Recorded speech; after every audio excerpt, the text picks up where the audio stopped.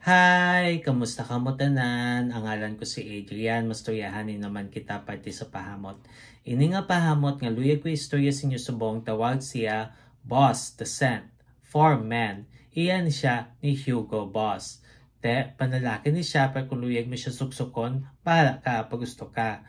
Kag o toilet ni siya, but balon layo pa lang, masimutan ka na. Te, ano ni siya klase nga pahamot? Bali presko nga makahang nga maprutas, amo na siya kung simutan. Angay siya sa katamtaman nga panahon, ang temperatura nga para siya is between 60 to 80 degrees Fahrenheit o kung 16 to 27 degrees Celsius. Te, anong iyang mga nota? For the top, we have ginger, mandarin orange, kag bergamot. Ang luya, gapakalam si imo nga ilong. Kag mandarin orange, matamis nga citrus. Kag bergamot, mahamot nga citrus. Kag for the mid, we have maninka, kag lavender.